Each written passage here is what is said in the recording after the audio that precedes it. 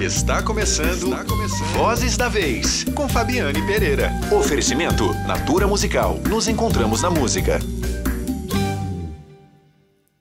Ontem eu fui, dar, fui, fui, ter uma conversa com os alunos da Unirio, onde eu estudei. Eu, eu fiz faculdade na Unirio e também fiz Martins Pena, aqui no Rio de Janeiro. Mas ontem, especialmente ontem, eu encontrei uma, duas turmas de primeiro e segundo período de interpretação. E depois de três horas falando sem parar, porque eu sou dessas pessoas, eu falo muito. Você é ariano, Uma né? menina, uma aluna. Ah, eu sou. muito. e aí uma menina, uma aluna de teatro, virou para mim e falou assim, Babaioff, tudo bem? Queria falar com você uma coisa. Eu falei, pois não. Aí ela, eu tenho 17 anos e eu assisti Tom na Fazenda quando eu tinha 11. Eu falei, 11? É, na lona cultural da Penha. Nenhum grande se apresentou na Penha, mas vocês se apresentaram na Penha. E eu queria te agradecer muito por isso. Eu estou aqui na faculdade por causa disso também. Cara, Eu nem comecei a entrevista, já isso. tô chorando. Ah, não, mas é porque se isso, se isso não é a razão pela qual eu faço o que eu faço, eu não sei o que que é. É para é para ouvir histórias como essa, é para motivar pessoas, é para é para mostrar que é possível. Porque eu nasci num lugar, Fabi, Fabi, que eu nasci numa zona de desconforto. Eu brinco dizendo isso. Eu não nasci numa zona de conforto. A minha vida inteira foi uma zona de desconforto. Foi um lugar que eu tive que me inventar. E aí eu sou esse, esse cara que, que resolveu trilhar esse caminho de querer fazer arte, trabalhar com arte, com cultura, com teatro, com 11 anos de idade, porque conheci o teatro numa escola pública em Jacarepaguá, aqui no Rio de Janeiro, que apesar de ser pernambucano, eu vim para o Rio de Janeiro pequeno, mas foi numa escola pública que tinha um teatro e mudou minha vida. Mudou a minha vida. Então, é, eu sou regido por esse lugar, por essa. Eu falo que teatro é minha religião, e realmente é, é minha religião. É onde eu me reconecto, é onde eu crio, é onde eu, eu, eu, eu me trato, eu me curo no teatro. O teatro sempre me salva.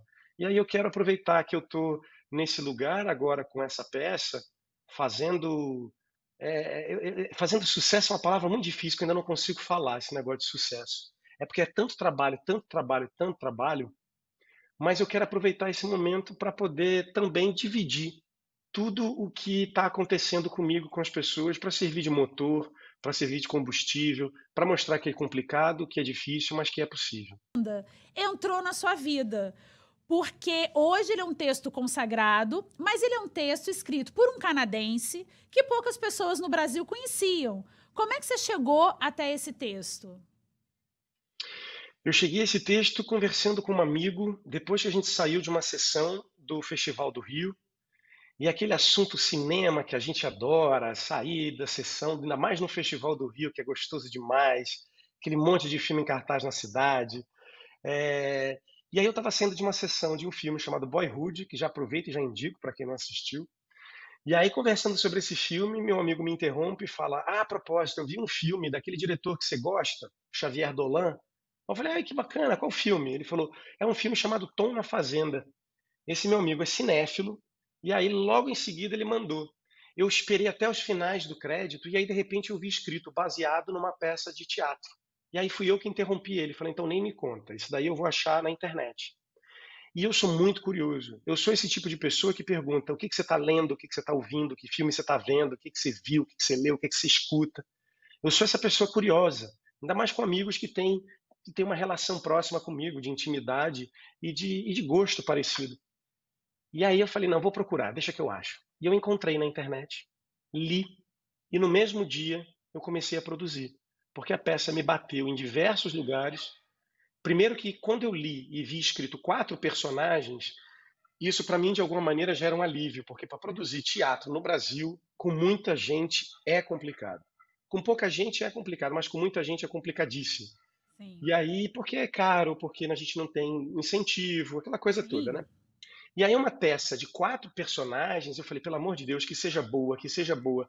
Eu terminei a peça chorando, chorando. Eu no meu quarto, em Copacabana, e ali, em algum momento, eu tive a certeza de que eu era a primeira pessoa no Brasil a estar lendo esse texto.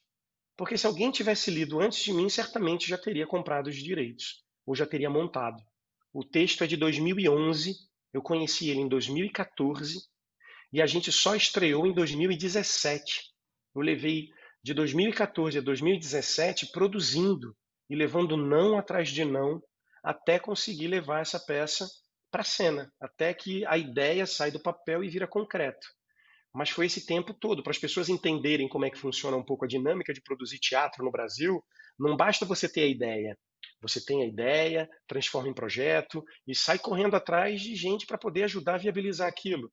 Então é, é Lei Rouanet, são as leis estaduais, municipais de incentivo, e aí você escreve também para as empresas, departamentos de marketing, é uma loucura. Sim, e aí sim. a empresa que resolveu abraçar esse projeto foi a Oi Futuro, com uma curadoria do, do saudoso Roberto Guimarães, que já não está mais aqui, mas que é um sim. cara que mudou muita coisa no teatro, principalmente durante a gestão dele no Oi Futuro. Ele fez um trabalho belíssimo de curadoria durante anos, e Tom na Fazenda foi uma peça que acabou virando para ele, dentro do teatro Oi Futuro, um case de sucesso. E eu fico muito feliz da gente ser essa peça que foi uma aposta e que deu certo. Mas Estou na Fazenda é um espetáculo que mudou a minha vida e a vida de muita gente. Acho que de todo mundo que teve que foi cruzado e atravessado por essa peça, seja trabalhando nela ou assistindo ela, eu acho que Tom na Fazenda tem um lugar muito especial pela maneira como a gente criou, pela, pela, pelo texto que é muito potente e pela forma como a gente vem mantendo essa peça em cartaz, que é aí que eu acho que mora o grande segredo desse trabalho. Porque não basta você ter dinheiro e um patrocínio para estrear. A gente sabe que um dos grandes problemas no Brasil de produção é você estrear, mas não ter uma continuidade desse projeto. Se não tem, se não tem continuidade, é, significa que toda aquela galera que está trabalhando naquele projeto, quando acabar, depois está desempregada.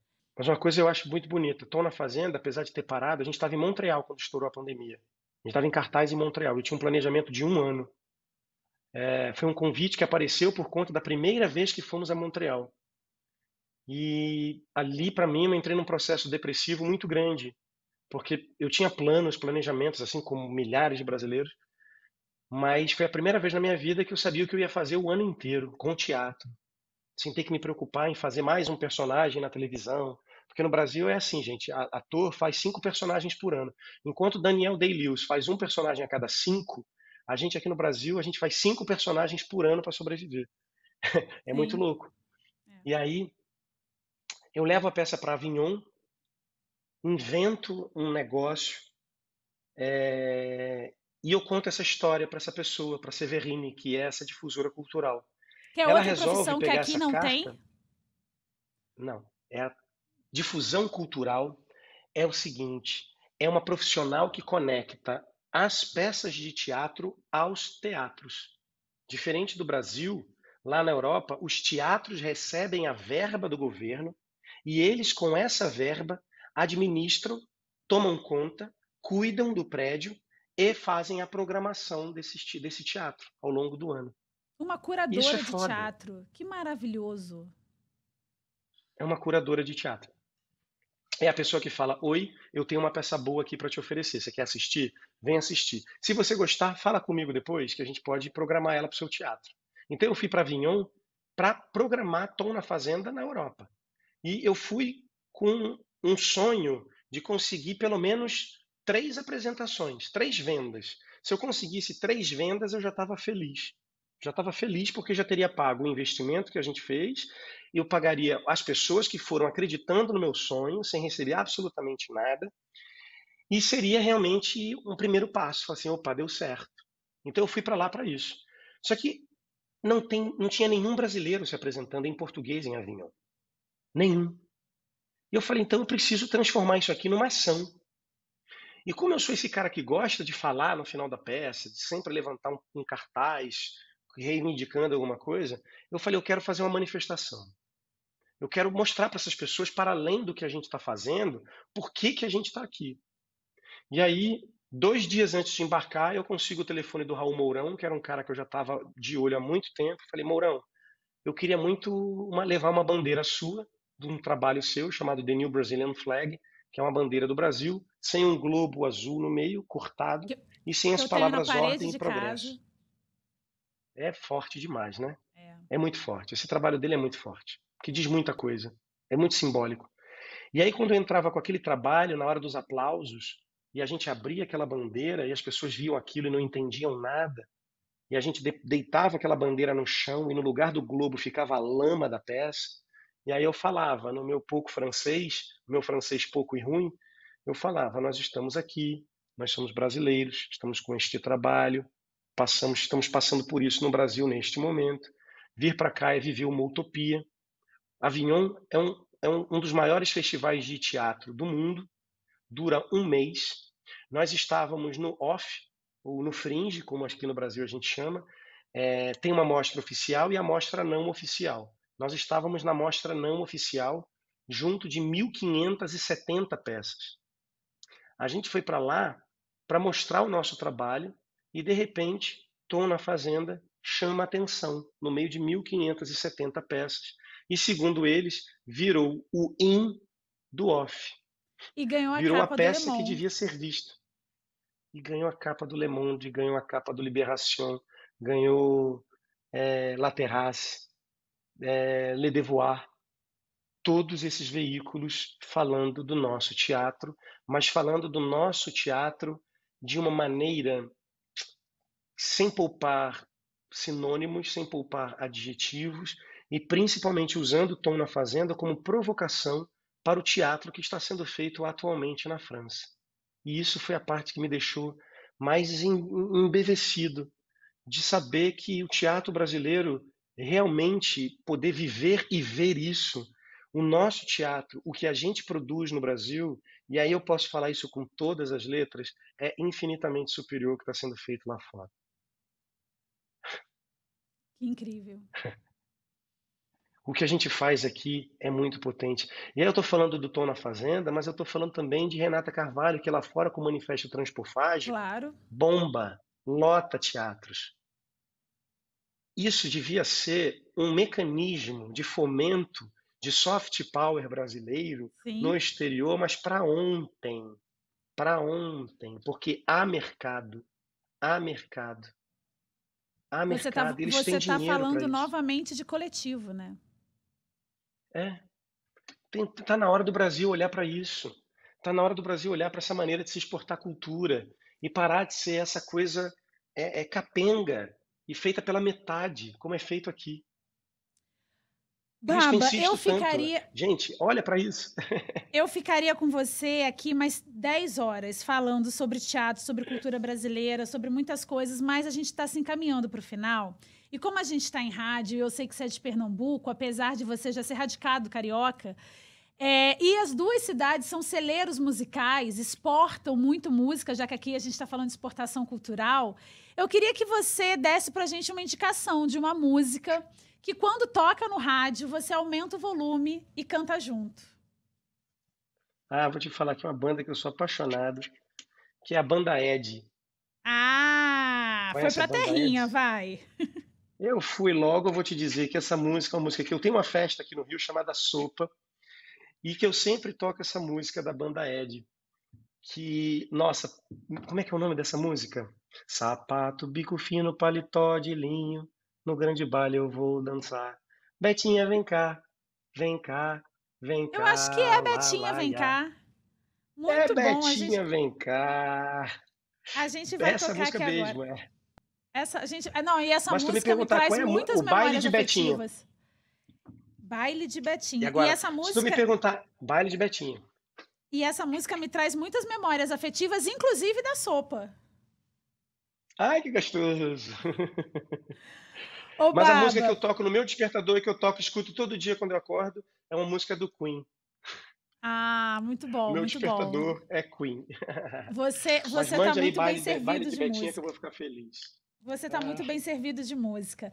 Ô, Baba, nesse momento que a gente está vivendo, é, nós estamos em julho de 2023, a gente está vivendo uma espécie de primavera cultural, né? Ou de início de primavera Uhum. cultural. Eu me lembro bem que há 20 anos, 2003, eu estava me formando na faculdade de jornalismo. A gente tinha o primeiro mandato do Lula, a gente tinha muita esperança de um país com fomento cultural, de um país com efervescência cultural.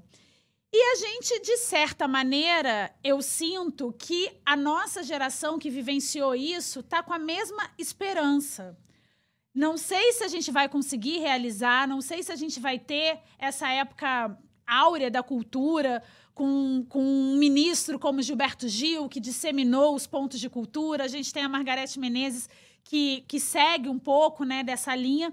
Mas eu queria saber de você é, a importância da cultura para um país como o Brasil. Porque uma coisa é a gente falar da cultura no Canadá, da cultura no México, já que a gente citou aqui, fa começamos falando um pouco da morte, né? E o México tem essa coisa com a morte muito enraizada.